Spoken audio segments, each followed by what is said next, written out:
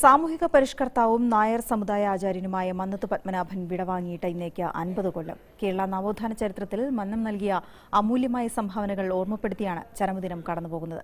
ചങ്ങനാശ്ശേരി പെരുന്നയിലെ N S S ആസ്ഥാനത്തും ചടങ്ങുകൾ ഒരുക്കിയിട്ടുണ്ട്.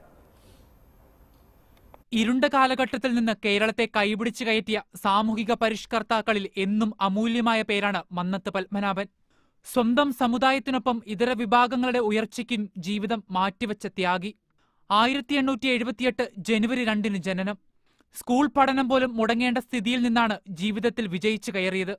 നായർ സർവീസ് സൊസൈറ്റി സ്ഥാപിതമായതോടെ ഇതര ഹൈന്ദവ സംഘടനകളോടൊപ്പം ചേർന്ന് പ്രവർത്തിക്കാൻ തയ്യാറായി. ക്ഷേത്രനടകൾ സവർണന് മാത്രമല്ലെന്ന് പ്രഖ്യാപിക്കുന്നതിനും അവരുടെ ആരാധനാ സ്വാതന്ത്ര്യത്തിനും ക്ഷേത്രപ്രവേശനത്തിനായും നിലകൊണ്ടു. തന്റെ കുടുംബക്ഷേത്രമായ മാരാണത്തുകാവ് അവർണർക്കായി തുറന്നുകൊടുത്തത് ചരിത്രം. വൈക്കം സത്യാഗ്രഹത്തിനായി സവർണജാഥ നയിക്കാൻ മഹാത്മാഗാന്ധി തിരഞ്ഞെടുത്തതും മന്നത്തിനെ തന്നെ. തിരുവിതാംകൂർ ദേവസ്വം ബോർഡിന്റെ സ്ഥാപക പ്രസിഡന്റ് കൂടിയായിരുന്നു മന്നവു.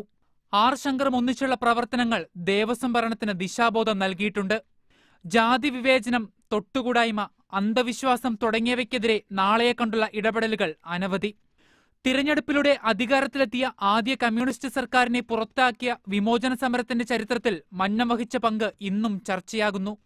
എന്തായാലും അടിച്ചമർത്തപ്പെട്ട ജനതയ്ക്ക് സാമൂഹ്യനീതി ഉറപ്പാക്കാൻ പ്രയത്നിച്ച മന്നത്തിന്റെ സംഭാവനകൾ ഒന്നുകൂടി ഓർമ്മിപ്പിച്ചാണ് മറ്റൊരു ചരമദിനം കൂടി കടന്നുപോകുന്നത്.